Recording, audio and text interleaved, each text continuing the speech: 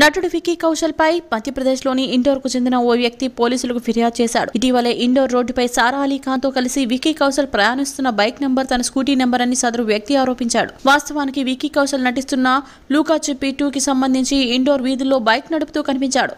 Cinema సన్నివేశంలో చూపించిన bike number తనదని ఫిర్యాదుదారు జయసింగ్ యాదవ్ పేర్కొన్నారు.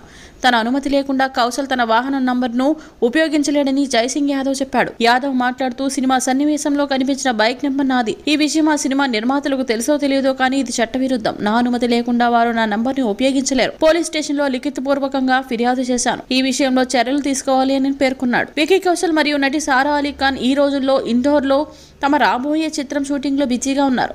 షూటింగ్ సమయంలో ఓ సీన్లో విక్కీ బైక్పై సారాతో కలిసి ప్రయాణిస్తున్న సీన్లో నటించారు. షూటింగ్ సమయంలో చేసిన ఈ సన్నివేశానికి సంబంధించిన వీడియో సోషల్ మీడియాలో వైరల్ కావడంతో ఇప్పుడు దానిపై వివాదం మొదలైంది. ఈ ఫిర్యాదుపై ఇండోర్లోని బంగంగా ప్రాంతంలో సబ్ ఇన్స్పెక్టర్ రాజేంద్ర సోని స్పందిస్తూ మాకు ఫిర్యాదు అందింది. నంబర్ ప్లేట్ అక్రమంగా ఉపయోగించారా లేదా అనేది చూడాలి. దీని తర్వాత మాత్రమే మోటార్ వాహనాల చట్టంలోని నిబంధనల ప్రకారం చర్యలు తీసుకుంటారు. చిత్ర యూనిట్ ఇండోర్లో ఉంటే వారిని విచారించారు ప్రయత్నం చేస్తామన్నారు